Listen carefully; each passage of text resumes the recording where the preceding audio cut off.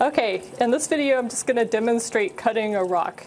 Remember that you want to hold onto the rock as hard as you can um, and if it starts to seem like it's going to slip away or turn, then you need to turn the rock saw off and back out and evaluate what has happened. You don't want to put the rock in such that you're turning the blade or jamming the rock at an, at, at an angle because if you do so, it will jam the blade lock up the motor, and that's when things can be kind of a problem.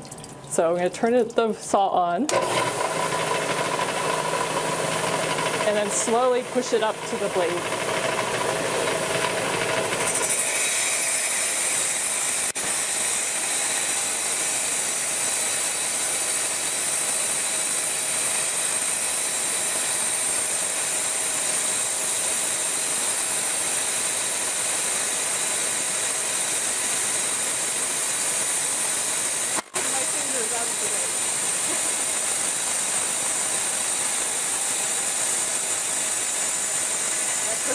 All the way through.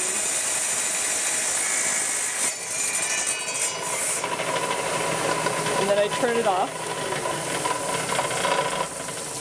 And then remember to turn the water off.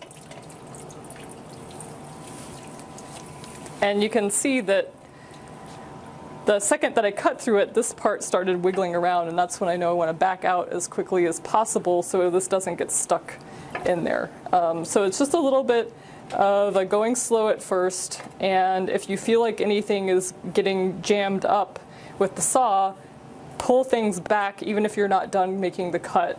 Turn off the saw and figure out what's going on. If it's because the sample isn't held down well enough, or if there's something in your sample that's making it really difficult to cut. Um, and that way, by being a little bit cautious, you can keep from making the mistake of jamming the saw or, or nicking the saw, which means kind of breaking it in one of the places. And that's it. Happy rock sawing.